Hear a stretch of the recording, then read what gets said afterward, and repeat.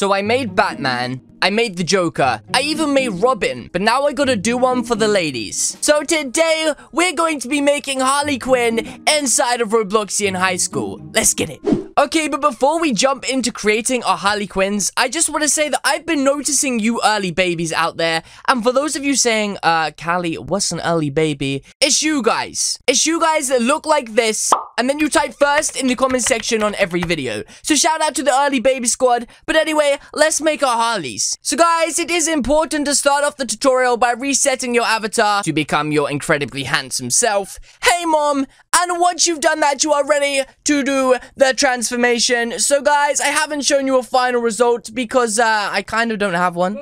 Psych! You think I'd come at you with no final result? What you think I am, a Randy? Guys, let me show you how we're gonna make this Harley Quinn. So guys, the second step we need to do is come to the wearing selection, come over to tuning, and remove everything we're currently wearing by clicking all of the boxes right here. Just like that. As you can see now, I am naked and ready for step number three. Which is incredibly simple, guys. Come to the body selection. You want to come to bundles. You want to search a woman or woman and equip the woman selection just like that. Then simply come to wearing, tuning, and remove the hair. Once you have removed the chestnut bun, you are ready to start equipping some real Harley Quinn stuff right here. So the first things we're going to equip is the clothes because Harley Quinn has some pretty unique pink and blue clothes. So we're going to come to the pants selection, click custom pants, and input the following code just like I have guys pause the video if you need to and as you can see right there uh, that is the code click wear and it will give you this harley quinn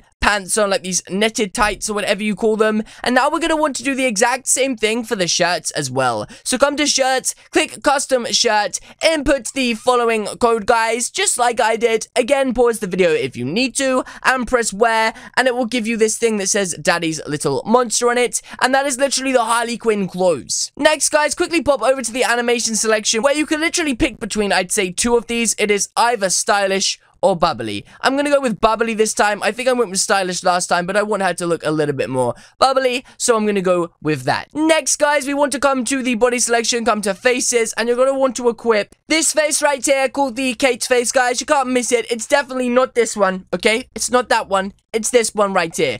Guys, equip that, and now what we want to do is try and give us some pink and blue on our eyes. The only way I could do this is to come to the wearing selection, come to the face selection, and we're going to want to search for something called the 80s shade. So just search 80 up here, and equip these shades right here, guys. They are called the blue 80 shades. Now, this is a little bit tricky. Open the tuning up, make them a bit smaller, just so they sit around the eyes. Bring the rotation of them down a bit like that, and this is where you just play about the settings. You kind of want them to sit above the eyes just like that. So you have a bit of blue there and a bit of pink there. Next, guys, come to the hair selection because we need to give ourselves the blonde ponytails that she has. And guys, this is incredibly easy to do. Just search up here, search honey like that. It's the only available option and it looks just like that. And guys, that is Harley Quinn. I really don't know what else you could do. It's a shame they don't have a baseball bat, because if we give her a baseball bat, she'd look flipping amazing. And obviously, we can't put the blue and pink in her hair, even though I wish we could. But yes, guys, that is going to be it from me